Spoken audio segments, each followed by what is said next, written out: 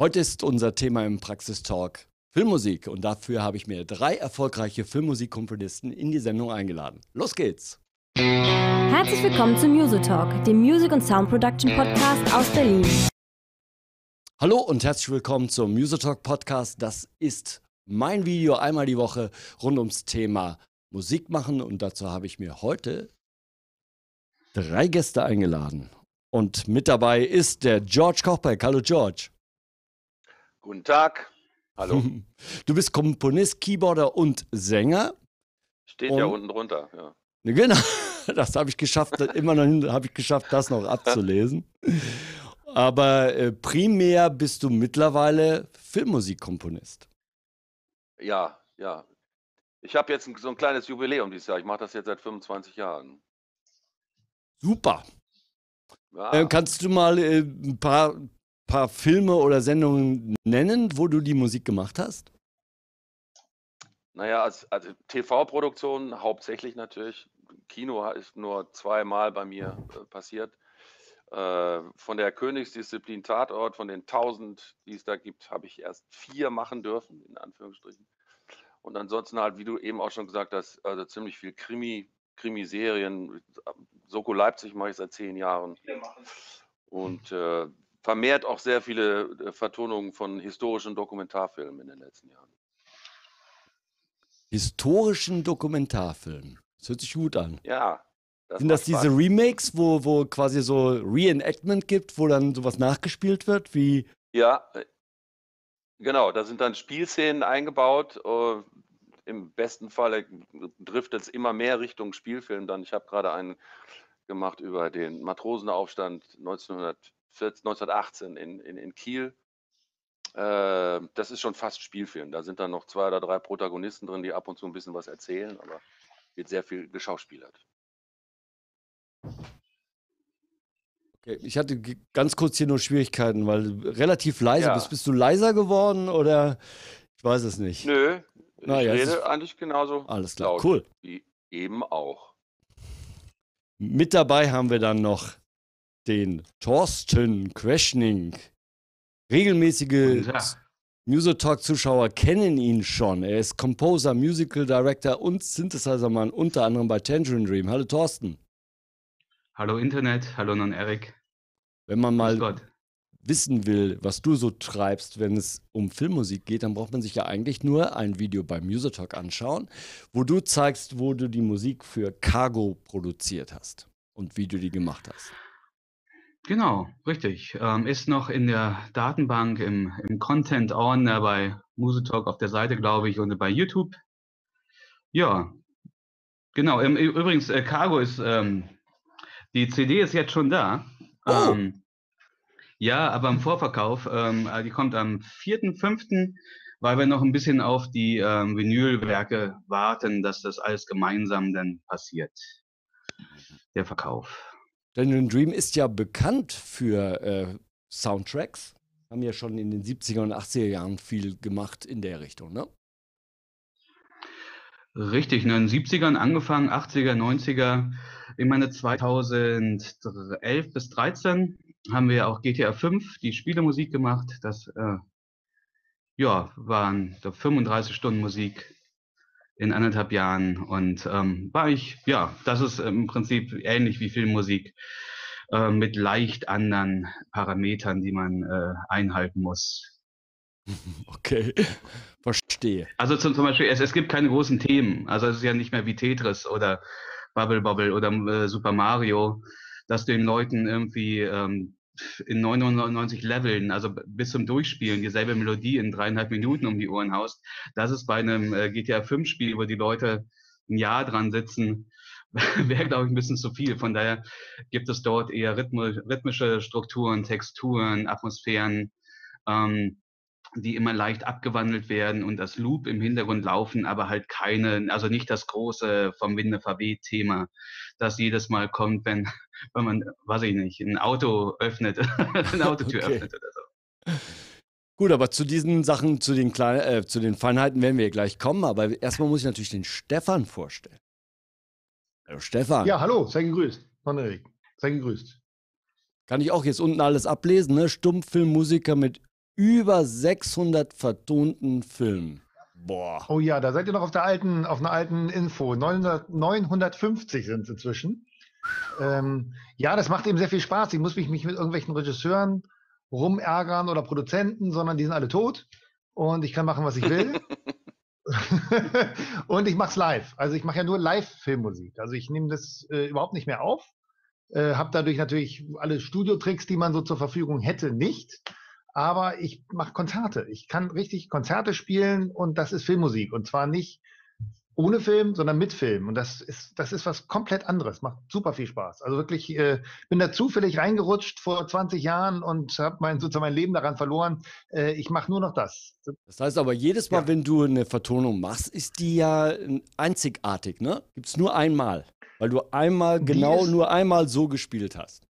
Die ist nur einmal so, aber sie ist es trotzdem eine Komposition. Das, äh, äh, also wenn man sich in der neuen Musik ein bisschen auskennt, experimentelle Musik, so klingt das bei mir nicht, aber das sind so Kompositionstechniken, die sowohl Kompositionen sind und gleichzeitig jedes Mal anders klingen.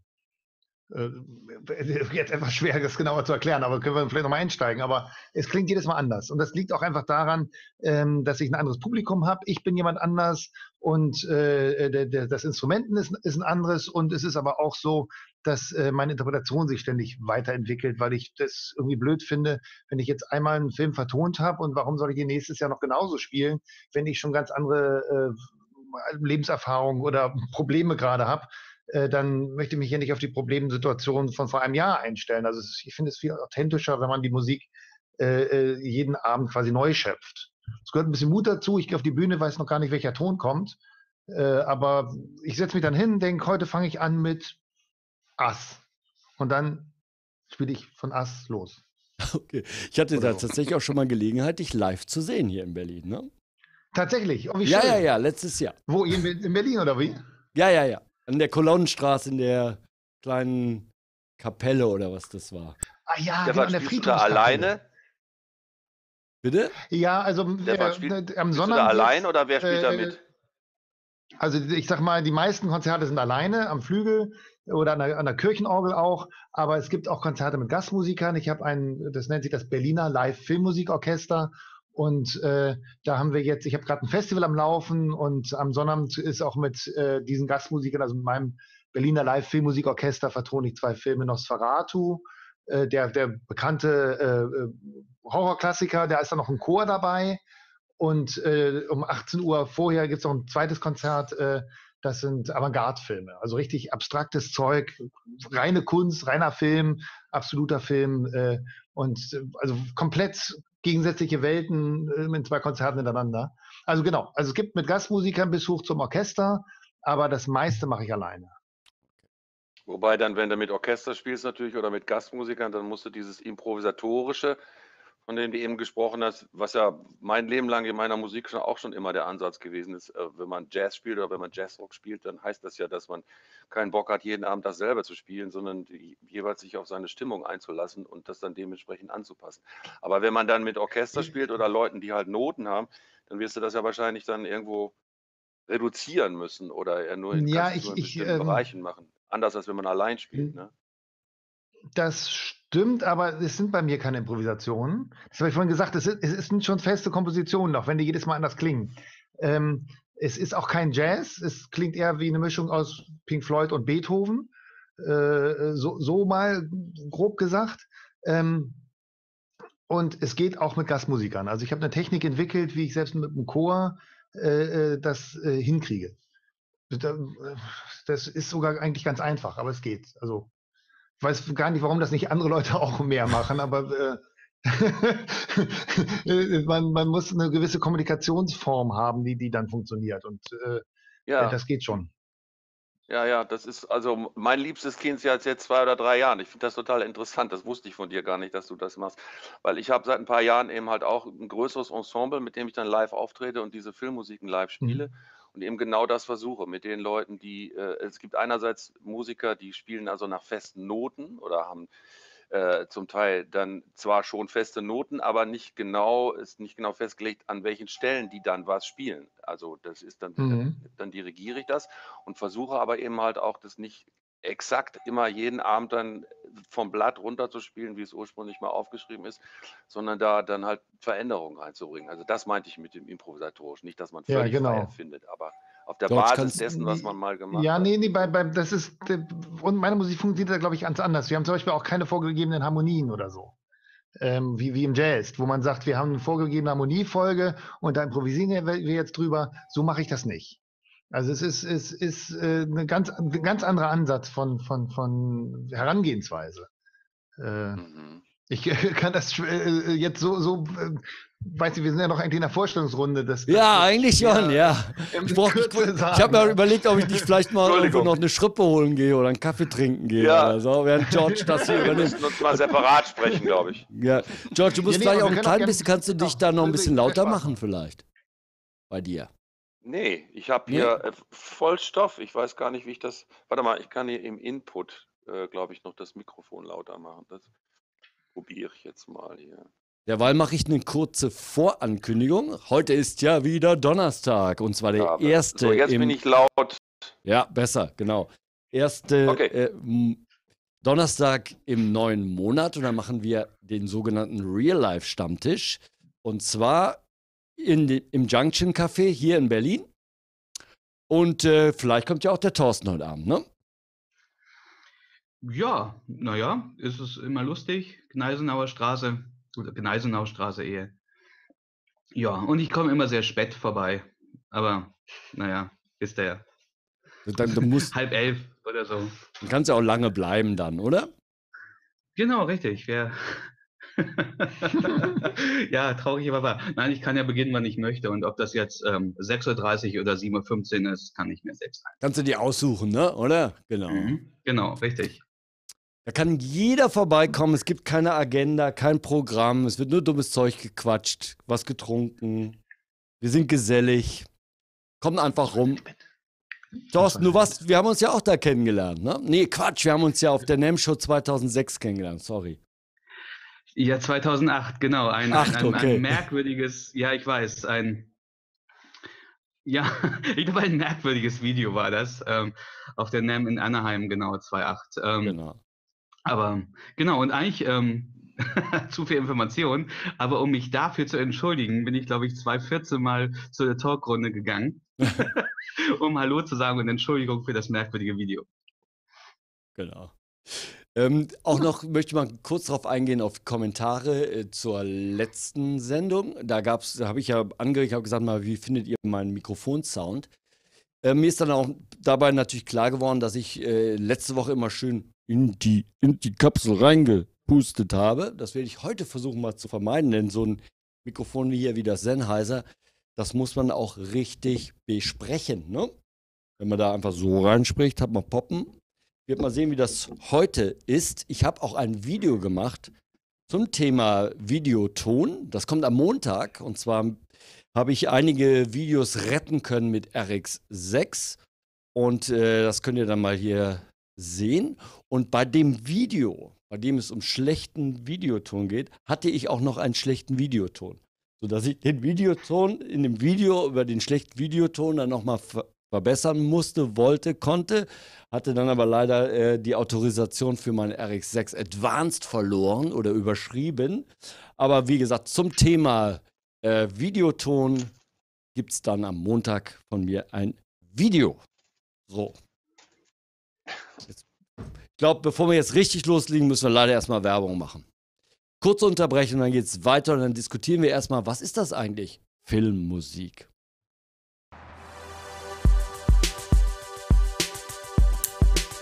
Ready?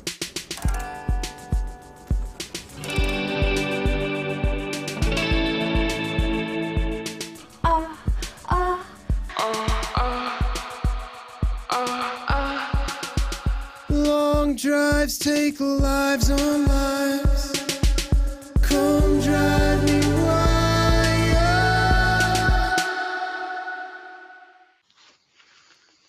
Gut. Das hatte ich ja in, die, in den Rundown auch reingeschrieben. Erstmal, wie müssen wir vielleicht einfach mal für die Zuhörer da draußen thematisieren, worin, worin unterscheidet sich denn eigentlich Filmmusik von U-Musik? Was ist denn da der, der grundsätzliche Unterschied? Erstmal ist es natürlich eine andere, hat die Musik in einem Film eine Funktion. Wie äußert sich das? Wie würdet ihr sagen, unterscheidet sich jetzt ähm, normale Unterhaltungsmusik von der Filmmusik? Man sieht das ja auch öfter auf YouTube. Leute haben ein Video gemacht über Kochen, äh, weiß ich nicht, Bücherrezession oder irgend sowas und knallen dann irgendeine Musik drunter, die total nervt, die gar nicht passt. Das funktioniert einfach nicht. Was ist das Grundmerkmal von Filmmusik? Für einen Musiker, der jetzt sagt, Mann, ich mache doch Musik, habe schon Platten gemacht, trete auf, möchte jetzt auch ins Genre Filmmusik überwechseln, mich interessiert das. Was muss der erstmal verstehen, damit er überhaupt loslegen kann? Also ich glaube, die beste Filmmusik ist eine, die man nicht hört. Der Film ist ja das Entscheidende. Du hast ja auch schon gesagt, dass äh, die Musik hat eine Funktion, in, äh, wenn, es, wenn, wenn es Filmmusik ist. Und sie muss insofern funktionieren, als dass sie die Atmosphäre, die die Bilder hat. Vielleicht beim Stummfilm ist es was anderes, wird der Stefan wahrscheinlich was anderes erzählen. Genau. Äh, aber die, in meinem Falle ist also die Atmosphäre, die Dialoge, das, was vorne ist, die Story. Das ist ja das, was man sieht. Äh, und die Musik, die dazu kommt, ähm, darf ja nicht davon ablenken, sondern hat eben halt diese Funktion, das höchstens zu unterstützen. Insofern sage ich dann immer, wenn die Musik richtig gut war, im besten Falle hat man sie eigentlich gar nicht richtig wahrgenommen. Was weiß ich, bis auf die großen Themen, vielleicht bei den großen Hollywood-Filmen. Aber gerade bei deutschen Filmen ist es ja, geht es ja eher um Reduktion. Äh, sonst würde man diese Bilder, die ja diese Größe nicht haben, im, im, äh, in den meisten Fällen irgendwie kaputt machen halt damit. Mhm. Ne? Und dann gibt es von der Struktur her immer, aber da kann man natürlich irgendwie Seminare drüber machen, ganz grundsätzliche Unterscheidung zwischen Filmmusik und zwischen normaler populärer Musik. Die Struktur als solche ist eine ganz, ganz andere. Du hast ja nicht wie bei einem Popsong so eine Abfolge von Strophe und Intro und Refrain und so. Diese Kleinteiligkeit würde bei Filmmusik gar nicht funktionieren. Und man hat deutlich weniger Akkordschritte, würde ich auch nochmal so als erstes allgemeines Ding sagen. Nicht so viele Wechsel. Es passiert viel auf, auf, auf einen und demselben Grundton. Ähm, und dann gibt es komischerweise irgendwie so typische Harmoniewechsel, wo man dann immer gleich sagt, ah ja, das ist Filmmusik oder das ist auf jeden Fall etwas, was in, in Popsongs nicht passiert. Also wenn du einen Blues spielen würdest, bist du wahrscheinlich ziemlich unfilmisch, aber wenn du zwei Mollakkorde, die ähm, äh, sich durch eine kleine Terz unterscheiden, hintereinander hängst, hast du gleich das, das, Gefühl, oh wow, das klingt ja irgendwie filmisch. So. Ha, interessant. Stefan, du musst da widersprechen, oder? Also ich wollte erstmal Thorsten das Wort geben. Achso, ja, wie, wie, wie ihr mögt. Also ähm, es ist natürlich, also richtig, man muss im Prinzip eher Musik im Dienste des äh, Bildes machen. Ähm, so, sofern, also man nicht die zweieinhalb Minuten irgendwann in der Mitte kriegt, äh, wo man mal machen kann, was man möchte und da irgendwelche äh, Time-Lapse äh, also, also Zeitrafferaufnahmen durchfahren und man sich ausleben kann, muss man natürlich schon im Hintergrund bleiben und die Sache unterstützen. Unterstützen heißt nicht immer einhergehen mit dem Bild, sondern auch äh, Kontrapunkte unterstützen das Bild ja auch, wenn man es möchte. Ähm, Absolut, ja. Genau, und ähm, ich, gerade länderspezifisch ist wirklich ein großer Unterschied, glaube ich, ähm, was, was ähm, amerikanisches, englisches, skandinavisches, deutsches Fernsehen macht oder halt Film. Ähm, ähm, gerade, was ich mir auch die Skandinavier, das, das ist halt momentan sehr, sehr modern, was die, äh, was die Jungs und Mädels da machen. Ähm, ähm, das ist im Prinzip ähm, ja Streicher, Spreizstimmung mit mit äh, schönen Knackser dazwischen, was mir auch sehr, sehr gut gefällt. Ähm, und die großen Themen, vollkommen richtig, müssen auch großen Bildern ähm, äh, angepasst werden. Das heißt, das ist also der, der große, der große Tusch oder irgendwie die, weiß ich nicht, äh, was nicht, Star Wars Melodie passt nicht ähm, in einem, weiß ich nicht, äh, 15 Quadratmeter ähm, sozialer Wohnungsbau äh, Berlin Szenario. Ähm, das sollte man vielleicht weglassen. Aber ähm, es ist eigentlich viel mehr erlaubt als in der Popularmusik.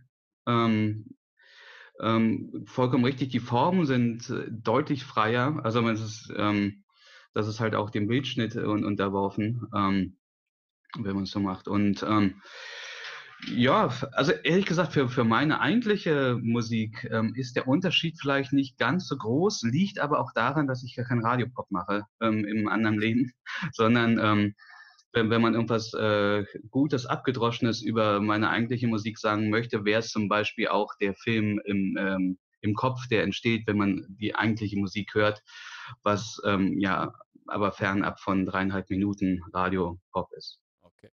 Beim Stefan ist es ja so, da gibt es ja schon mal keine Ja. Dialoge, oder? Und, Ja, äh, ich habe auch schon, schon, schon, schon äh, äh, Sachen mit Dialogen vertont, die trotzdem Stummfilme waren. Also, äh, aber das stimmt. Ich habe da deutlich mehr Freiheiten. Aber ich wollte mal auf was anderes eingehen. Deine Frage war ja sehr allgemein. Was macht Filmmusik aus? Mhm. Und äh, obwohl, äh, was Georg gesagt hat, ich eigentlich alles unterstützen kann, ist trotzdem das Gegenteil genauso wahr. Und äh, äh, das heißt, dass er eine Antwort gegeben hat, die, die äh, sehr viel über äh, Filmmusik erklärt. Aber wenn die Frage so allgemein war, wie du sie gestellt hast, dann finde ich, muss man eigentlich sagen, so, dann ist es, dann stimmt das so nicht. Ähm, also wenn man jetzt zum Beispiel sagt, ähm, ähm, Filmmusik ist dann gut, wenn sie nicht gehört wird. Und das soll auch für deutsche Filme gelten. Das würde ich nicht sagen. Es gibt also auch äh, Filme, die kein großes Star Wars-Thema haben, gibt es trotzdem in sehr vielen Filmen Szenen, wo äh, die Musik komplett übernimmt. Wo fast auch gar kein O-Ton mehr drunter ist, bis zu gar kein O-Ton. Das sind winzige, fast wie Stummfilmszenen. Die gibt es immer wieder. Allein in fast jedem Tatort kommt eine Disco-Szene vor, wo die Musik extrem präsent ist. Ja, ähm, da tra tra transportiert sie auch kein Gefühl, sondern einfach die Szene, ich bin in der Disco oder so. Also es gibt für jeden, für jedes Beispiel gibt es ein Gegenbeispiel. Und ähm, die Strukturen, klar, ich kann, ich kann einen Popsong im Film unterbringen und dann ist es Filmmusik. Das heißt, die Strukturen von Popsongs und Filmmusik können sich unterscheiden, müssen sie aber nicht. Da würde ich Thorsten zustimmen, das nennen größere Freiheit. Also alles, was im Popsong funktioniert, funktioniert auch in Filmmusik, denn ich kann Popsong in Film unterbringen. So, Mhm. damit ist das sozusagen, Okay. wenn man jetzt so allgemein sieht, wie du gefragt hast, dann, dann, äh, ich weiß nicht, ob das interessant ist, das so allgemein zu sehen, weil wir wollen vielleicht auch mehr über spezielle Themen sprechen, aber wenn man es so allgemein sieht, muss man immer sagen, hm, dann ist das sehr schwer, den Unterschied wirklich zu definieren. okay, aber ich möchte es einfach, sag Äh, mein, mein, mein, mein Versuch, mein Versuch wäre äh, zu sagen, im Unterschied zur Popmusik oder auch zur ernsten Musik, äh, ist, hat in Filmmusik, äh, hat in, in der Filmmusik jeder Ton eine Bedeutung, die sich auf etwas anderes bezieht, was nicht sie selbst ist. Also wenn ich jetzt Popmusik das mache und gut. ich mache ja, einen neuen gut, Akkord, Ja, ja. dann, dann hat dieser Akkord nur eine Bedeutung innerhalb der Musik. Ähm, mal abgesehen davon, dass viel Popmusik eben auch zum Tanzen da ist, dann hat es plötzlich auch noch eine externe Bedeutung. Aber nehmen wir das mal raus. Ähm, in der Filmmusik hat jeder Ton bezieht sich auf den Film, egal ob er das will oder nicht. Er tut das einfach. Und das kann ich optimieren oder nicht. Äh, äh, und da, daran kann ich Spaß haben oder nicht. Also es kann sich sowohl auf die Bilder beziehen, aber auch auf die Bedeutung, auf die Metaphysik, auf, auf irgendwas. Ja? Okay. Ähm, aber jeder Ton steht nicht nur Stefan. für sich. Das wäre meine, mein, meine Definition. Oder mein Versuch, mein Versuch. Okay, wenn wir jetzt das generell geklärt haben, äh, dass es eine andere Funktion hat, dass die Musik nicht für sich alleine stehen kann und, und, und, wäre jetzt noch die Frage, ähm, es gibt ja eigentlich noch so zwei, zwei grundsätzlich verschiedene, in meiner Wahrnehmung, Arten von Filmmusik in einem Film. Es gibt die Themen, die vielleicht ohne Dialog funktionieren, wo so Aufbruchstimmung, wir fahren jetzt durchs Land, so, da wird eine Stimmung kreiert, eine Emotion kreiert. Und dann gibt es diesen sogenannten Subdialog. Da kannst du natürlich nichts zu sagen, Stefan. Aber vielleicht ja. Warum nicht? Was ist denn eigentlich. Subdialog? Das ist, Subdialog ist für mich die klassische Filmmusik. Das ist nämlich, glaube ich, das, was George sagt, die Musik, die man nicht hören darf. Weil wenn man den Subdialog wahrnimmt, dann stört das schon. Und es gibt tatsächlich auch Filme, die ich mir manchmal anschaue, wo ich sage, nee, da kann ich nicht weiter gucken. Mich nervt das, dass alle Bilder mit so einer Art Gewürzmaggi-Soße unterfüttert sind in den Dialogen, die mir ganz extrem eine Emotion aufdrücken. Und das äh, ist dieser sogenannte Subdialog. Und dann gibt es ja die Themen, ne? die Filmmusik-Themen, ähm, wie bei, bei Halloween. Ding, ding, ding, ding, ding, ding, ding. Das ist so ein Thema, das ist auch, unterstützt den Film, aber wäre ja kein Subdialog. Was ist das, Subdialog? Ähm, da, zitieren Subdialog wir mal ist, äh, den. Bitte. Nur Georg. Also Subdialog ist auch wiederum nur ein Teilbereich aus äh, Filmmusik. Und alles das, was ich eben gesagt hatte, waren ja auch nur einzelne Teilbereiche, die ich rausgenommen habe. Insofern stimmt das. Und auf der anderen Seite stimmt das, was Stefan gesagt hat, hat letztendlich auch. Es gibt alle möglichen.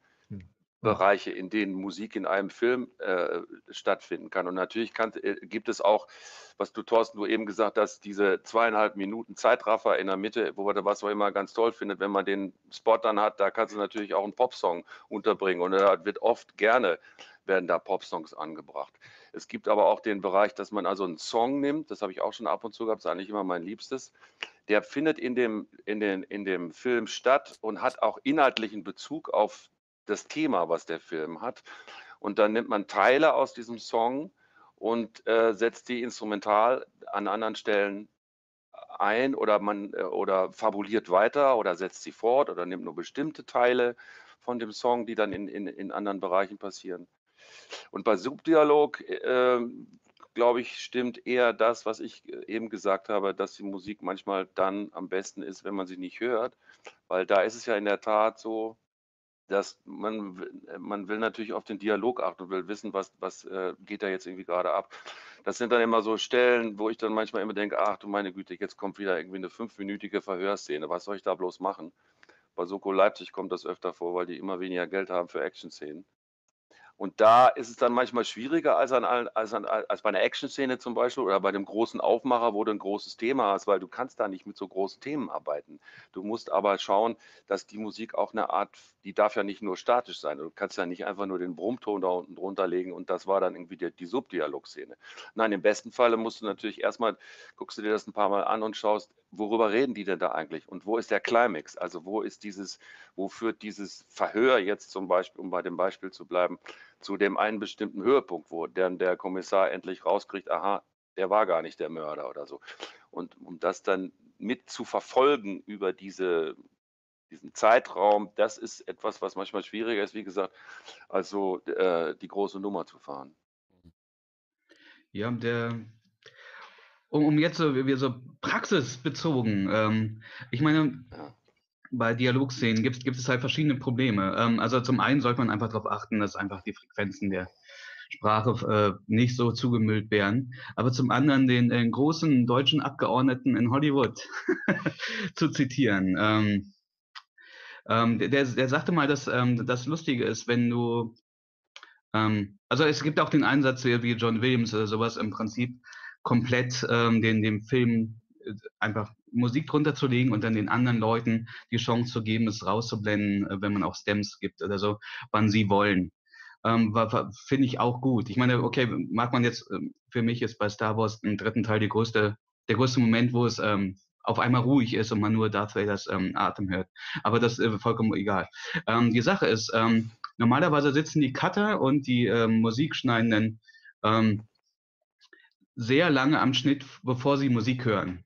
Und dann kommt ein neues Element, dann ist die Musik. Und das ist durchaus der Grund, warum es zum Teil zu laut gemischt wird, weil sie den anderen ein bisschen überdrüssig hören. Also sie sehen das und äh, mischen das neue, Ele- neue Element wirklich lauter, als es zum Teil auch dem Film ähm, gut tut, einfach weil es ähm, für sie neu war in dem Augenblick. Also im Prinzip ist es im Gegensatz zu jedem Bühnenmusiker, ähm, der Satz, äh, mach mal die Musik leiser oder meine Spur, ist da sehr wichtig, weil meist wird es von den Entscheidenden sogar ein Tick zu laut gemischt. Okay. Okay, ja. Also aus Erfahrung auch. Hm.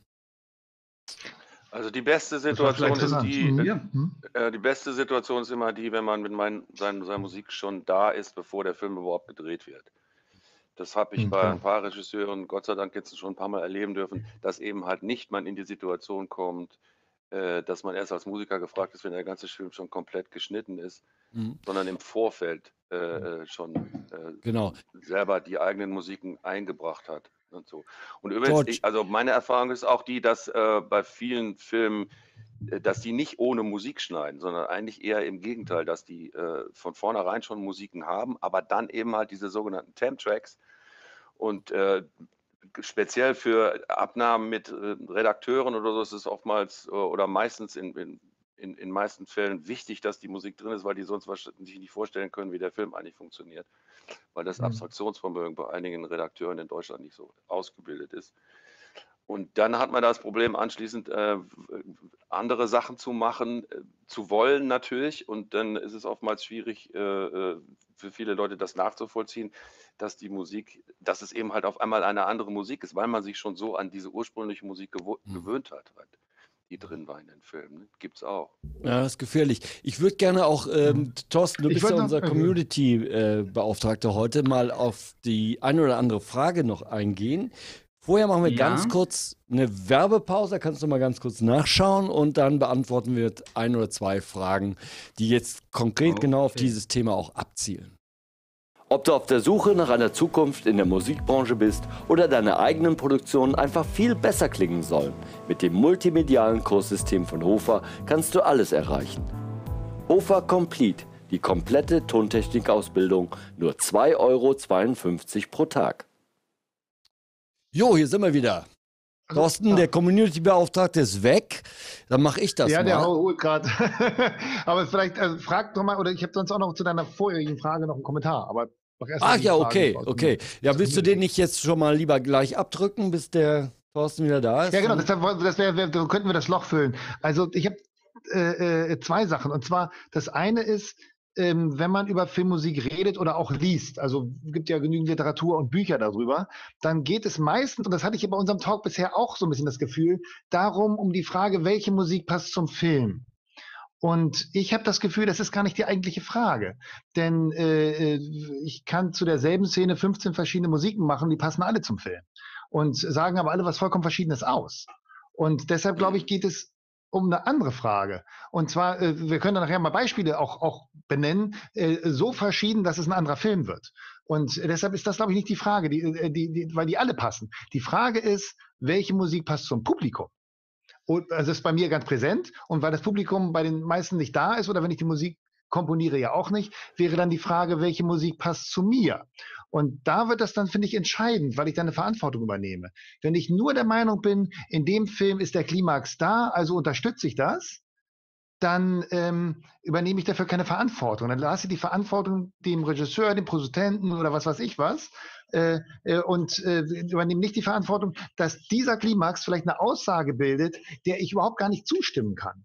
Ja, äh, dann, dann, aber ich kann mit demselben Bildmaterial den Klimax auch woanders hinsetzen und schon passt die Aussage zu mir. Oder schon habe ich die Aussage, die mir dann nicht gefällt, karikiert oder irgendwas. Also äh, deshalb würde ich sagen, die, die, die, die Frage, welche Musik passt, die muss man an sich selbst orientieren und man muss auch die Verantwortung übernehmen, dass man was unterstützt hat. Also ich kann nicht einen, einen Film, der meinetwegen militaristisch ist, äh, vertonen, wenn ich das überhaupt gar nicht dieser Meinung bin. Das, da, da tut sich in mir alles weh. Ich kann äh, das natürlich unter bestimmten Voraussetzungen machen. Ich kann den Film vertonen, aber nicht so, wie ich es tu tun würde, äh, äh, wenn ich jemand anders wäre. Aber da habe ich So, jetzt ein ganz anderes Verständnis gehabt, Stefan. Ich bin immer davon ausgegangen, dass äh, der Regisseur bestimmt, wie diese Szene sich anfühlen muss, welche Emotionen darüber kommen. Das ist ja sein Film, seine Bilder. Und du bist nur Dienstleister und Ja, musst ist, da- jetzt in der Lage sein. Da, vollkommen richtig. Da unterscheiden wir uns halt kolossal. Das liegt natürlich daran, dass meine meisten, die meisten Regisseure, mit denen ich zusammenarbeite, halt tot sind. Aber ähm, ich habe ein paar Tonfilme gemacht und das hängt auch von, dein, von deiner Einstellung ab. Wenn du als Dienstleister an die Sache rangehst, kommt eine Dienstleistung raus und das hört das Publikum. Und das ist genau das, was ich so langweilig finde. Im Fernsehen, im Kino, in deutschen Filmen. Dann bist du halt der Dienstleister, der hat diese, diese Bilder halt irgendwie vertont. Toll. Ne? Aber wenn, wenn, wenn du eine Meinung hast und sagst, ich, ich, äh, äh, äh, ich mache das so und so, dann klappt das auch. Ich würde mir aber als wesentlich Regisseur zu weit gehen. Ich würde dich nicht engagieren, weil da hätte ich Angst, Oh, nee, kann sein, aber guck dir, guck dir, guck dir Niki Reiser an. Niki Reiser ist einer der, der, der, der erfolgreichsten deutschsprachigen Filmkomponisten. Und äh, da hört man der Musik an, dass das komplett nicht sozusagen dem Film hinterher spielt, sondern einfach ein vollkommen eigenes Statement zum Film ist. Und das war extrem erfolgreich. Das, er macht nicht die meisten Filmmusiken, ein Glück nicht, aber er macht einige der besten. Ja? Und Okay. äh, die, die, wenn, wenn, wenn, wenn die Filmkomponisten sich nicht, nicht aufstehen und sagen, ich bin was anderes als ein Dienstleister, dann sind sie eben auch nur ein Dienstleister. Okay. Na gut, dann können wir, können wir nämlich auch gleich zur Frage kommen von Cornel Hecht. Bei mir hinterlassen Ach. auf meiner Facebook-Seite. Mich interessiert, ob Hallo, man den kompletten Film bekommt oder schon mit fertigen Szenen beliefert wird. Und kann man vorproduzieren, also Ideen sammeln, oder fängt man wirklich bei Null an? Und jetzt ist der Filmproduzent beim Komponieren ab und zu anwesend. Würde ich jetzt eher sagen, nicht der Produzent, sondern der Regisseur. Dann kommt von Carsten Broadcast Storm, so als regelmäßiger Making-of-Seher kann ich das eindeutig mit Ja beantworten. Cornel Hecht, Ja auf was? Wie geht denn das? Also ich habe mir das, Thorsten, ich habe mir das so vorgestellt, wenn, wenn ich dich jetzt Ja. engagiere für meinen Film, Ja. du sollst dazu ein Thema entwickeln oder äh, Szenen, einen Subdialog für Szenen entwickeln, dann spreche ich doch mit dir und versuche dir zu kommunizieren, wie sich das nachher anfühlen soll. Ne, soll sich die, das Thema elektronisch anfühlen, treibend oder eher. Äh, ne, ich bin doch im Ja, Prinzip der Auftraggeber und eigentlich der, der am Ende mit diesem Werk leben muss. Rede ich Das doch am besten mit richtig. dir gleich, bevor ich anfange, an dem Film zu arbeiten. Ne? Das ist richtig. Ähm, ich glaube, das ist auch, äh, ach, das, das ist fast so eklig Luxus, aber auch im Prinzip gefangen. Ähm, ich glaube, also bis auf zwei Anfragen, die ich dann auch abgesagt habe, ähm, wissen die Leute, wenn sie mich anfragen, was sie auch bekommen. Ähm, also ich, ich bin jetzt auch nicht so versatil aufgestellt, dass ich irgendwie alles machen kann. Also ich habe zum Beispiel irgendwie, da gab es eine Anfrage, mach mal was wie jetzt irgendwas, ich weiß nicht, Chicago Hip-Hop. Also selbst die Einschränkung, ich meine, ich kenne nicht mal Hip-Hop in dem Sinn, also so, dass ich mir ein ganzes Album mal angehört hab, hätte, wenn es nicht The Streets sind oder sowas. Ähm, aber ich bin einfach nicht drin in der Nummer. Von daher habe ich das abgesagt, weil es können andere Leute viel, viel besser. Ich glaube, wenn ich angefragt werden, wollen die schon elektronischen Sounds haben mit Streicher, so diese Post-Rock-Geschichten, so, ähm, dass diese Anfragen kriege ich. Ähm, Das, äh, das aber auch Thorsten, diese- kurz, das verstehe ich ja auch. Ich würde dich ja auch Ja, ja, engagieren und sagen, ja, ich möchte diesen Sound haben. Ich kenne den Cargo Soundtrack, ich kenne deine Picture Palace Music Sachen, die Tangerine Dream Sachen. Sag, ja. das ist genau, das passt super. Aber wenn ich jetzt eine konkrete Szene habe, jetzt angenommen, zwei Leute laufen die Straße lang, unterhalten sich, ich sage, ich brauche da so einen Subdialog, der so ein bisschen Spannung suggeriert. Da, da Mhm. kannst du ja nicht kommen und eine fröhliche Musik drunter machen und sagen, oh ja, habe ich, aber ich habe das anders gefühlt, tut mir leid. Das ist es. Du hast Tangerine Nee, Dream bestellt, jetzt kriegst du fröhlich. Sorry. Funktioniert das so nicht, oder? Genau. Nee, nee, das ist vollkommen richtig. Ich glaube, da ist es bei mir auch so ein bisschen vielleicht zeitintensiver als ähm, ich habe normalerweise am, gerade im Beginn der Zusammenarbeit ähm, hier und da Szenen, die ich fünf, sechs Mal mache, verschiedene Versionen, sowas in dir. Das heißt, die ersten fünf Minuten, das ist meist ähm, so aus verschiedenen Gründen nicht der sinnvollste Einfall, eigentlich mit dem äh, Anfang zu starten in der Arbeit, ähm, weil das, ähm, man muss sich auch erstmal finden und auch die eigene, sag ich, die eigene Stimme im, im äh, Film äh, erstmal herausarbeiten.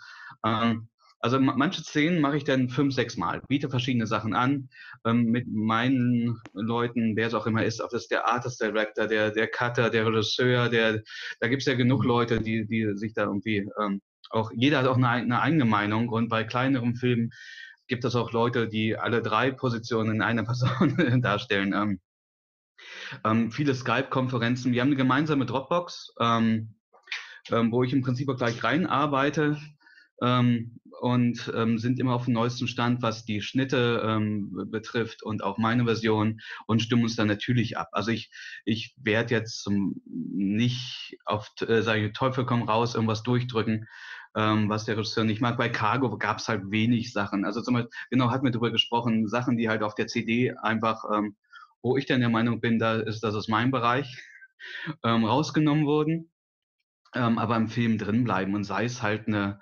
808 Tom-Spur, die ich vielleicht sehr un, aber die brachte mir ein bisschen Energie, wollte der Regisseur haben, hat, bekam er auf dem Soundtrack fehlt's, im Film ist es drin.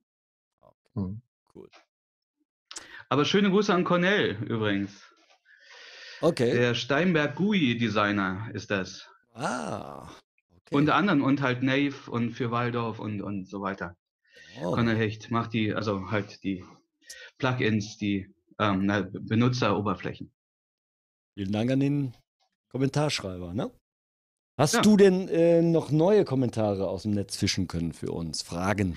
Ja, ähm, genau, ob, ob jetzt Popmusik in Film, ähm, Filmmusik wäre oder Popmusik in oder Popmusik innerhalb eines Films. Ähm, stimmt beides. Da schrieb auch einer in den 80er Jahren ist fast in jedem Film Popsongs. Ich meine, wenn wir das Highlander 1 nehmen mit dem ähm, kompletten Queen-Soundtrack mit Who Wants to Live Forever und äh, was da alles drin ist, das war im Prinzip auch, ähm, das floss ineinander über. Ähm, ich meine, wenn man, ich meine, das würde ich nicht auf die 80er ähm, äh, reduzieren. Ich meine, wenn wir jetzt die großen Filme ähm, aus dem, oder weiß ich gar nicht, wann das genau war, also sowas wie Breakfast at Tiffany's und ähm, die oberen 10.000 und so weiter, da sind ja riesige Songs drin, die wirklich nur für den Film geschrieben wurden, natürlich aber Popmusik ist, wenn man irgendwie Somewhere Over the Rainbow nimmt oder ähm, Ach, ach ich, ich mag die total gerne. Dieses High Society äh, mit, auch mit äh, Sinatra und ähm, Armstrong und sowas. Ähm, das wurde ja direkt für die Filme geschrieben, aber im Prinzip da wahrscheinlich war die Idee des Films, die Musik zu transportieren. Also, Genau. also im Ja. Prinzip war es ein anderthalbstündiger Musikclip. Ähm, also das natürlich gibt es da Vermischungen und natürlich, ähm, wie auch George ähm, sagte, äh, na- natürlich ähm, übernimmt man halt, also gerade auch bei, wenn wir jetzt äh, das Beispiel nehmen, Breakfast Tiffany's, laufen natürlich die Harmonien von Somewhere Over the Rainbow, ähm, auch wenn, der, wenn, wenn sie nicht auf dem Fensterbrett mit der Gitarre sitzt und den dann anstimmt, Mhm. ähm, Mhm. ähm, sondern einfach auch in, in verschiedenen äh, Geschwindigkeiten, in verschiedenen Tonarten, einfach, dass man ja trotzdem Mhm. die Intervalle dann im Prinzip erfüllt, dass es ähm, das Thema ist und so. Ähm, das ist, also im Prinzip, da gibt es auch keine Antwort. Also Popmusik in Filmen ist auch, ist sowohl Popmusik im Film als auch Filmmusik. Ähm, Darf ich da mal kurz Ja, was zu klar. sagen? Ähm, also ich bin ja mal der Mann fürs Abstrakte offenbar hier.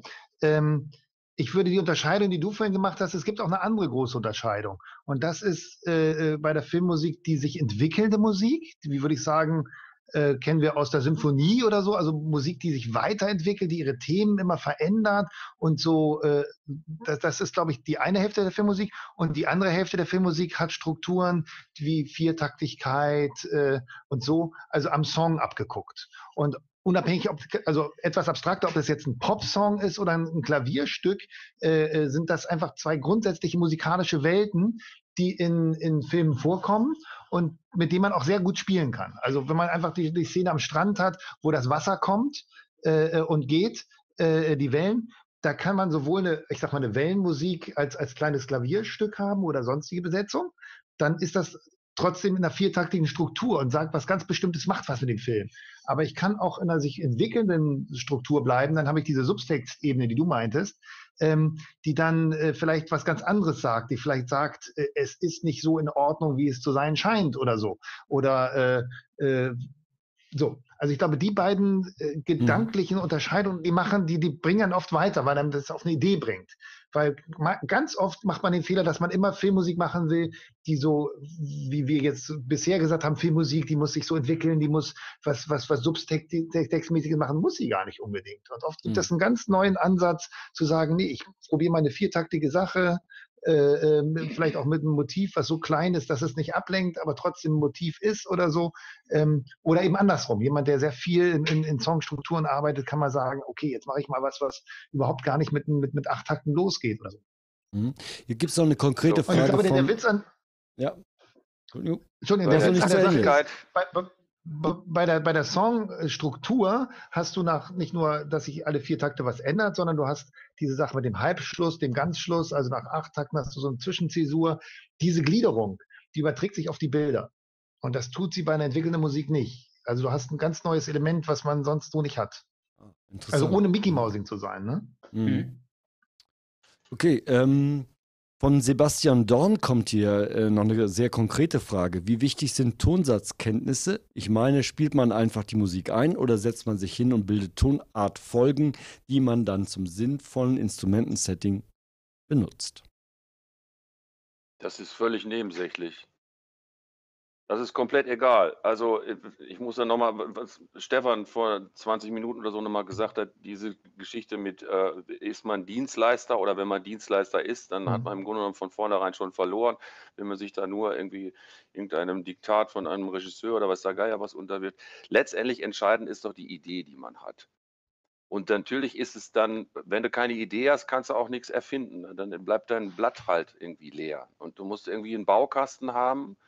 Und man hat auch eine bestimmte, St- man entwickelt, glaube ich, im Laufe der Jahre eine bestimmte Stilistik und man, es stimmt dann auch, was Thorsten gesagt hat, man wird dann halt dafür auch angefragt. Also mich würde auch keiner anfragen, Mhm. wenn er einen Hip-Hop-Soundcheck würde haben wollen, weil bin ich jetzt auch nicht Mhm. so der Spezialist oder sowas. Man Mhm. hat dann so eine gewisse Art, eine Stilistik vielleicht sogar oder irgendwas Eigenes, was man entweder in die Wiege gelegt gekriegt hat oder im Laufe der Jahre halt entwickelt hat. Aber es ist diese Idee, diese ursprüngliche musikalische Idee, die man haben muss, bevor man an- anfängt. Und das ist für mich auch wichtig, bevor ich also eine Filmmusik mache, das rauszufinden, dann in Gesprächen mit dem Regisseur, was will der eigentlich, wo will der hin? Und dann unterhält man sich über Beispiele und sowas und ähm, versucht dann halt äh, was zu entwickeln. Ir irgendeine Art von, äh, beson von, von Besonderem, irgend irgendwas eigenständig, irgendwas Neues oder so. Sonst macht es auch Mhm. irgendwie keinen richtigen Spaß, wenn man da jetzt Mhm. nur was unten drunter legt, äh, äh, was letztendlich alle anderen irgendwie auch machen könnten oder Mhm. was nicht so großartig von Bedeutung ist halt. Ne? Und diese Taktigkeit, was ihr eben noch gesagt habt, das wollte ich noch zum Schluss dazu sagen, hier so rein theoretisch, das ist zum Beispiel meiner Erfahrung nach auch ein großer Unterschied zu Popmusik, äh, äh, dass man da, weil man ja, äh, also wenn man im Nachhinein erst auf den, auf den Schnitt arbeitet und nicht der Schnitt an die Musik angelegt wird, öfter mal dann an, in Situationen kommt, wo man dann auf diesen bestimmten Climax hin was macht, wo dann der Schnitt ist oder der Climax in dem Bild oder wie auch immer. Und das muss oder ist in vielen Fällen nicht so, dass es ein normaler Vierviertel ist oder ein Dreiviertel. Das kann dann plötzlich auch mal sieben oder neun oder ganz plötzlich auf ein Achtel irgendwie liegen, äh, wo man von dem Rhythmusgefühl, was man so normalerweise entwickelt, wenn man also an einem Popsong arbeitet oder an einem etwas linearen Stück, ähm, wo man das anders machen muss, als, es- Mhm. als das sonst geht. Okay, da würde ich sowieso gleich nochmal zu kommen, zu den technischen Herausforderungen, die gerade das Filmmusik produzieren, ähm, äh, äh, zum Beispiel auch an Technik benötigt. Ähm, hier ist aber noch eine interessante Frage von Fabio Keller gekommen. Mich würde interessieren, wie man es schafft, eine bestimmte Stimmung überhaupt musikalisch auszudrücken, also ganz praktisch. Zum Beispiel lydisch für fröhlich, Ganztonleiter und so weiter. Gibt's das? Ich brauche jetzt was Trauriges, dann brauche ich Moll und das und das. Gibt es da so Schubladen? Ich glaube, das ist abgelöst worden. Ich glaube, das ist so ein bisschen. Ich meine, wenn wir jetzt Pop-Beispiele nehmen, Tears in Heaven und die Disintegration von The Cure sind in D-Dur. Und das hätte man vielleicht, ähm, das sind jetzt nicht fröhliche Stücke, ähm, also Mhm. so vom, vom Mhm. Ansatz her. Von daher, da jetzt ähm, Regeln, das ähm, Das gibt's nicht, ja. es wäre zu simplifiziert am Ende des Tages, glaube ich. Also im Prinzip funktioniert schon. Also das C-Dur vielleicht fröhlicher ist als G-Moll. Aber ähm, das ist jetzt, ähm, funktioniert bei vielleicht 65 Prozent. Also ich glaube, das ist auch eine Sache vom Komponisten. Wenn der, wenn der seine Sprache zwischen hat, Melancholie und Traurigkeit. Mhm. Sorry, Genau, dran. Genau. Nee, ich meine nur, wenn, wenn, wenn, wenn der Komponist seine Sprache hat, in seiner Klangwelt ist das eben so und so, dann kann er das auch in der Filmmusik benutzen. Aber jetzt hinzugehen und zu sagen, das gilt für alle Filmmusikkomponisten, da wird es, glaube ich, dann äh, falsch. Also das, da hat Thorsten einfach recht. Das, das, dazu haben wir zu viel verschiedene Musik inzwischen äh, äh, gehört alle, als dass man sich darauf so zurückbegeben müsste. Okay. Gut, wollen wir Oder? vielleicht äh, restliche Zeit noch ein bisschen auf die technischen Herausforderungen oder was man so equipmentmäßig oder Software braucht, um diese Elemente zusammenzubringen. Was George ja gerade gesagt hat, war ja schon mal interessant. Wenn ich jetzt einen Film habe, leg den jetzt hier in meinen äh, Cubase irgendwie an, habe ich ja ein Taktraster, das ist fest. Jetzt habe ich aber mehrere Taktwechselstellen, die irgendwie überhaupt gar nicht mehr in dieses Zeitraster reinpassen. Muss ich dann praktisch auf Time-Sample-Basis arbeiten in meiner DAW? Äh, wie wie mache ich das mit dem Film, dass der parallel läuft? Äh, was sind denn äh, technische äh, Gerätschaften und Techniken, die man braucht, die über das hinausgehen, was man für Popmusik braucht? Was brauche ich denn zusätzlich noch? Wenn ich morgen sage, ich will jetzt auch Filmmusik machen, brauche ich irgendwie einen Zuspieler, ein Quicktime-Player-Programm, Video, wie geht das? Na, die meisten, ich meine, George, wo, womit arbeitest du? Mit, mit Ja, also, also ich arbeite mit, mit, Stein, mit Steinberg. Ja, ich auch. Ich bin ja schon, äh, ich kenne ja Charlie und Manne schon seit Ursprungszeit. Ich habe mit denen ja auch früher schon Musik gemacht, bevor sie diese Firma überhaupt gegründet haben. Und war immer mit einer der ersten, also als es noch Pro 24 hieß. Non-Eric kann sich an die wunderbaren Zeiten erinnern, die wir auf den Frankfurter Messen hatten, wo wir diese ersten Systeme vorgeführt haben. Also ich bin Steinberg Jünger der ersten Stunde und benutze Cubase nach wie vor oder mehr denn je und versuche immer ein oder zwei Versionen unten drunter zu bleiben, also nicht immer die neueste zu benutzen, weil never change a winning team. Das funktioniert bei mir sehr gut und ich habe halt zwei verschiedene, also ich arbeite äh, insgesamt über vier Rechner. Hab mir erzählen lassen, es gibt Kollegen, die arbeiten über 20, also da bin ich ja, glaube ich, noch ziemlich harmlos dabei. Und habe drei verschiedene Rechner äh, verbunden miteinander über Vienna Ensemble, sodass ich auf all die, also die Ressourcen von den und die Libraries, die in den Computern sind, halt über einen Rechner zugreifen kann. Und ein zusätzlicher spielt äh, innerhalb von Cubase den Film ab und der kriegt dann äh, MTC und ist über MTC also äh, synchronisiert. Mhm, klar. So mache ich das. Ja, ja, ich meine, das ist ja, sehr ähnlich. Also ich äh, benutze jetzt weniger Computer, dafür aber halt ähm, sehr viel Outboard-Synthes. Also von daher, ob das, äh, ob der Synth jetzt ein Computer ist ähm, oder, äh, oder im, ich meine, ob ein Plugin auf dem Computer läuft oder ich den Synth selbst benutze, ähm, ist kein großer Unterschied. Ich benutze ja auch nicht so viel ähm, Bibliotheken das, ähm, aus, aus Gründen. Ähm, ja, ich meine, mit Cubase funktioniert das gut. Da braucht man nichts Besonderes ähm, an. Äh, ich meine, QuickTime wurde jetzt irgendwie verändert. Das funktioniert, eigentlich funktioniert es immer. Und wenn irgendwas nicht äh, richtig läuft, packt man das in Premiere oder was ich nicht. Es geht auch mit Movie Maker und hofft, dass es dann nicht irgendwie zu sehr gestaucht wird und zu viel, ähm, weiß ich nicht, äh, Jitter hat. das ist das falsche Wort, aber ihr wisst, was ich meine. Ähm, und konvertiert das halt so lange, bis es halt passt, also meist passt. Also ich habe eine Firma, die schicken mir immer irgendwas Merkwürdiges. Ich habe das aber auch nie angesprochen, weil das konvertiere ich und fertig und es äh, klappt. Aber sonst ähm, geht das ähm, ziemlich einfach. Ähm, man legt es an, ich meine, auf, um auf längere Zeit, ähm, also ich meine, ich mache es mir vielleicht so einfach, um auf längere Zeit mal einen neuen Achtel zu entgehen oder sowas, wenn ich es nicht möchte, mache ich sehr viel mit Temp äh, Tempoänderungen und langsame Verläufe. Ähm, das funktioniert aber je- jetzt, äh, das ist wahrscheinlich zu, zu, zu äh, tief in, in Synthi-Ecken, aber nicht mit allen Geräten, weil manche spinnen, wenn man den allmählichsten, was ich, ein Acelerando oder ein Retardando, Rallentando gibt, ähm, ähm, die, also durch diese ganzen Kommastellen, die entstehen im, äh, in den Clocks, manche machen ganz absurde Sachen. Ist okay, wenn man hier und da so ein bisschen eine Schnellsound einfließen lassen mag, aber ist es nicht direkt beabsichtigt, aber das ist ähm, auch jetzt nebenbei. Aber ähm, wie gesagt, viele Tempi-Änderungen, ähm, ja, Ist dann der, Okay, der, Ja, also ich, ich, ganz kurz noch Ja, eine, eine Frage also noch ich, an ich arbeite Thorsten, mit Logic. Stefan. Also, das, also genau, lieber Leo. Ja. Ähm, ist dann der ganze Film in einem Song oder sind das mehrere Fragmente, die du dann noch zusammensetzt? Oder ist der ganze 90-Minuten-Film in einem Cubase-Song? Ja, ja, ja, der ist in einem Cubase-Song. genau. Genau, und ein, genau, ich ähm, ein paar Sachen outsource ich dann auch einfach nur immer aus Bug-Situationen heraus. Also zum- Beispiel eben, äh, ich habe drei TR8 und die funktionieren einfach ähm, mit den Einzelausgängen nur bei ASIO. Da ich auf PC-Basis bin, muss ich das dann ähm, kurz einrechnen auf dem anderen Rechner, äh, weil ich keine Lust habe, diese ASIO-Geschichte jedes Mal umzuschalten, weil es auch absurde Sachen mit meinen Soundkarten macht. Also Mhm. das ist der Grund, warum ich dann zum Teil ähm, einzelne Stücke, wo halt Drumcomputer drin vorkommen, ähm, äh, einzeln rausrechne.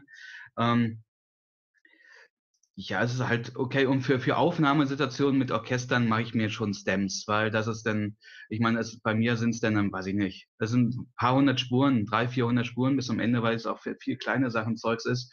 Und wenn dann ähm, die, äh, die Streicher kommen, ähm, ach, das, da, da möchte ich auf Nummer sicher sein und mache dann einfach kurz einen Mix und ähm, nehme es dann im anderen Re- Arrangement auf und ziehe es dann später rüber.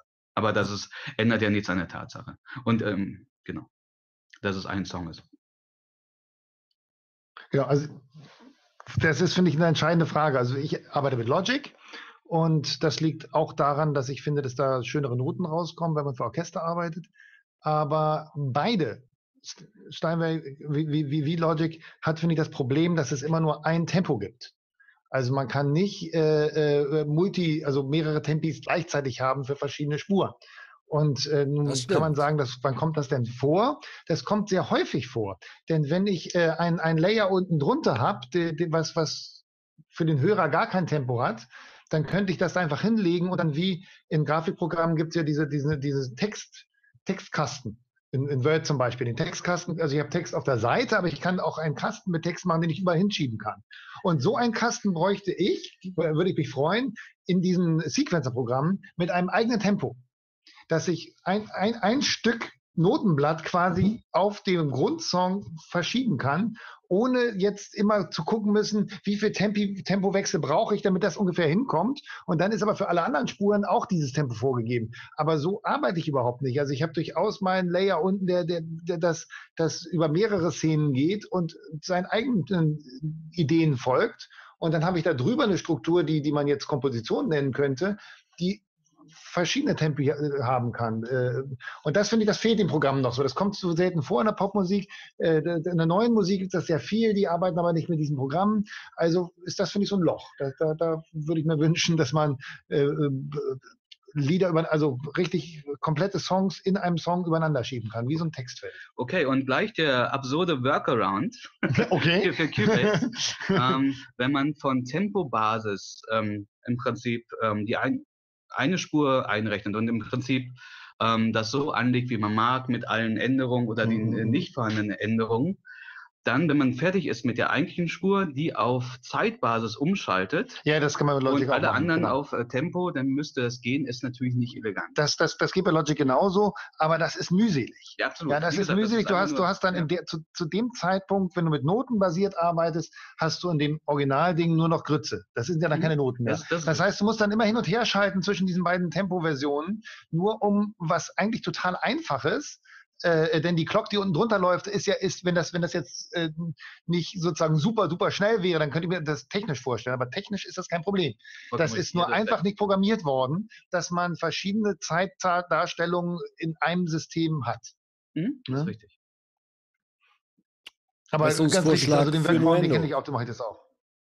Wie bitte? Verbesserungsvorschlag für Steinberg und Nuendo. Genau, genau, genau. Was brauche ich noch? Nix sonst. Eine riesen Library, eventuell. Oder ich nehme ganz viele Outboard-Synthesizer, geht auch. Äh, hört man aber von vielen Filmmusikkomponisten, dass die äh, doch einen riesen fetten Rechner brauchen oft. Mit schnellen Festplatten, weil da viel mit äh, Orchester-Libraries gearbeitet wird, ne? Die dann auch lange laden ich und die eigentlich Fest- alle vorgeladen Ja, sein ob, ich sollen. meine, ob, die? Festpla ob die Festplatten Libraries abspielen oder die Streicherspuren von der Festplatte, die aufgenommen wurden, abspielen, das ist von, macht nun keinen Unterschied. Also schnell muss es so oder so sein. Hm. Schon. Ähm, ja, nö, aber sonst geht das eigentlich mit handelsüblichen, also handelsüblichen, also äh, mit einem i7, ein paar, also ein, zwei Dinge und so, dass das geht schon. Also, also gerade für kleinere Filme, man fängt dann jetzt nicht wahrscheinlich mit einem Spielfilm an, sondern die meisten fangen dann vielleicht mit irgendeiner kleinen, was ich nicht, einem Kurzfilm an und das ist dann auch gut, da entstehen nicht so viele Daten bei, weiß ich nicht, zehn Minuten, das, das geht alles. Und ähm, die Programme sind ja auch, da hat sich ja eine Menge getan in den letzten Jahren. Das ist ja ähm, fernab von irgendwie, ähm, ich meine, in den 90ern noch mit äh, MTC auf andere äh, Systeme, die dann mitliefen und so weiter. Das geht ja alles im Prinzip in einem System. Äh, zum Schluss habe ich noch eine. Ah, Niki Reiser, um das nochmal zu sagen, Niki Reiser hat jenseits der Stille komponiert mit einem Vierspurrekorder und einem Roland äh, Soundmodul. Äh, Aber das geht auch deshalb, weil er das natürlich nicht aufgenommen hat. Er hat damit dann nur seine, seine, seine ähm, Komposition gemacht und hat es dann ja von, von, von einem Ensemble einspielen lassen. Mhm. Also, äh, wenn das Budget da ist, das ist natürlich immer schwierig für einen Anfänger, aber ähm, äh, dann hängt es nicht so sehr von deiner Technik ab. Das, das muss man auch sagen. Das hängt eben von deinem Musikstil ab. Wenn du eben wie Thorsten äh, gerne mit 100 Spuren arbeitest, dann mach das, dann hast du aber auch die Technik. Und wenn, wenn du aber neu anfängst und meinst jetzt, du müsstest dir ein System mit 100 Spuren oder mehr oder 400 äh, äh, hinstellen, dann wirst du an der Technik ertrinken. Das ist ganz klar. Du musst deine, deine, deine, du musst Musiker sein und deine Arbeit so weitermachen. Alter Orchesterspruch, dem Notenblatt ist die Tempoänderung erstmal egal. ja. Was einfach cool. stimmt. genau. Weil, Genau. sie, weil sie dirigiert wird, ne?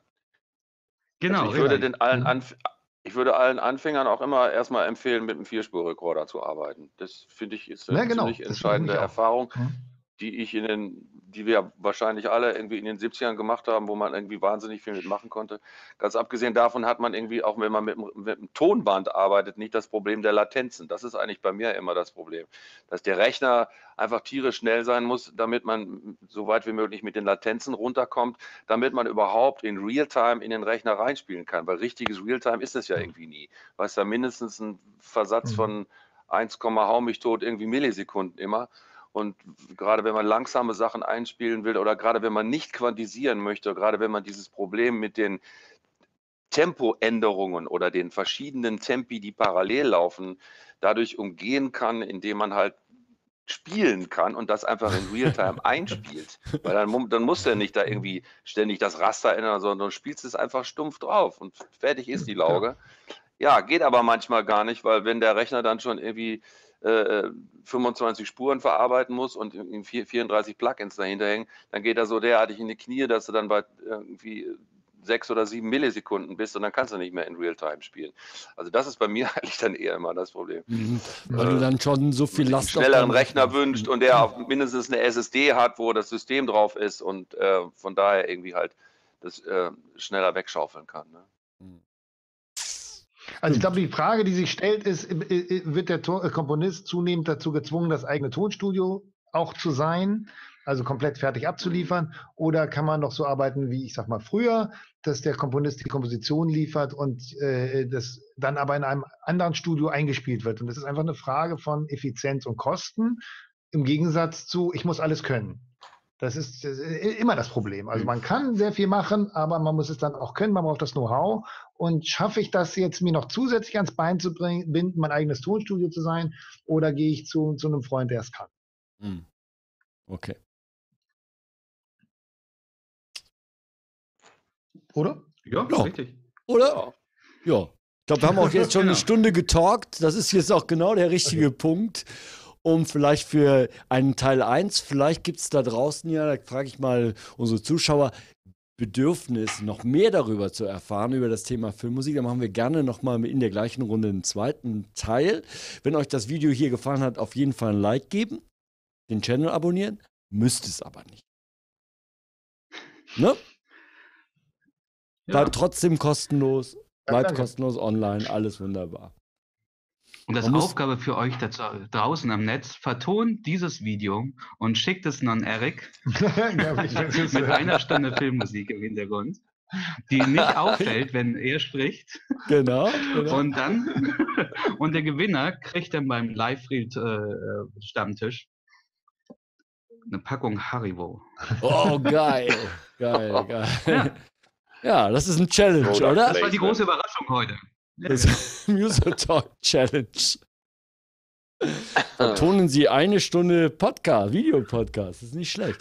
Genau, dann hat doch jeder Wenn sie das können, sind sie für jede Doku ähm, ganz groß im Rennen. und genau. jeder Genau. Teil, also jeder hier in unserer Runde bekommt dann auch vom Filmkomponisten so ein eigenes kleines Thema. Ne? Immer wenn er Ah, spricht, so ein Untergrund, genau, so ja. drunter, so, ne? Mhm. Ja. Ich wünsche mir eins mit einem Cubase-Klick.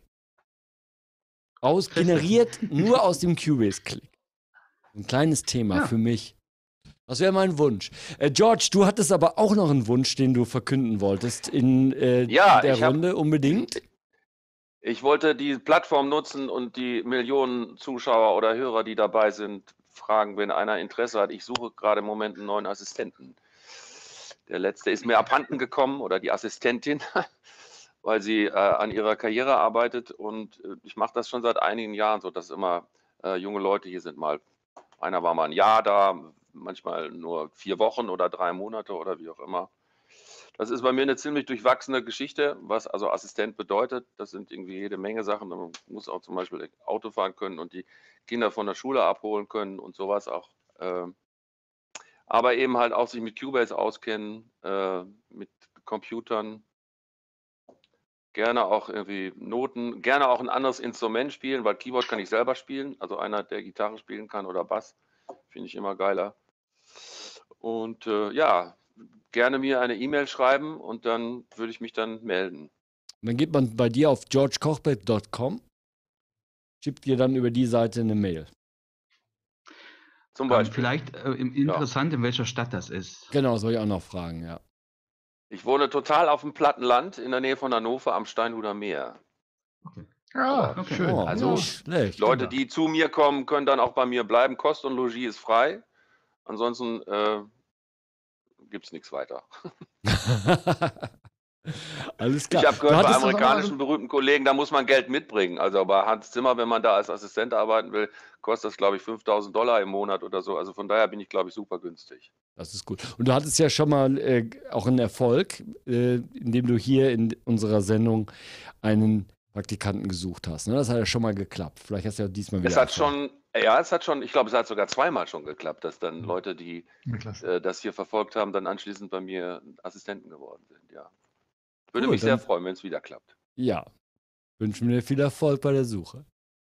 Ja. So, Stefan, jetzt kündige mal deine nächsten Stummfilmkonzerte noch zum Ende hier an. Oh, das ist aber lieb. Also, jetzt diesen Samstag, 3. Ja, äh, 3. März, spiele ich diese Avantgarde-Filmprogramm um 18 Uhr und äh, Nosferatu um 20 Uhr mit Live-Filmmusikorchester und Chor in der Uh. Passionskirche in Berlin in Kreuzberg. Und nächste Woche Samstag am gleichen Ort zeige ich Berlin die Symphonie der Großstadt und einen total abgefahrenen Lubitsch-Film, geradezu unverschämte In- Interpretation der französischen äh, Revolution, der heißt Madame Dubarry.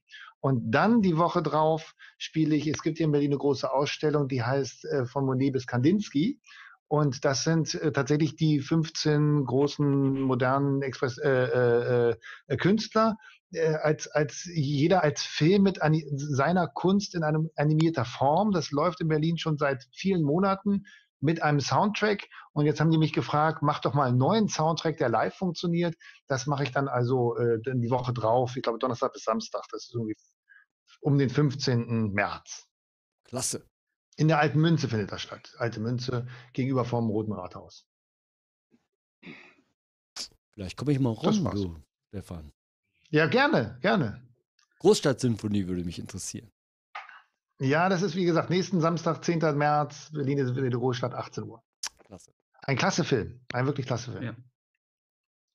Thorsten, jetzt zu dir.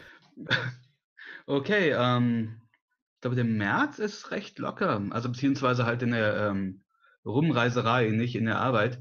Nächsten Konzerte sind ähm, am 13.04.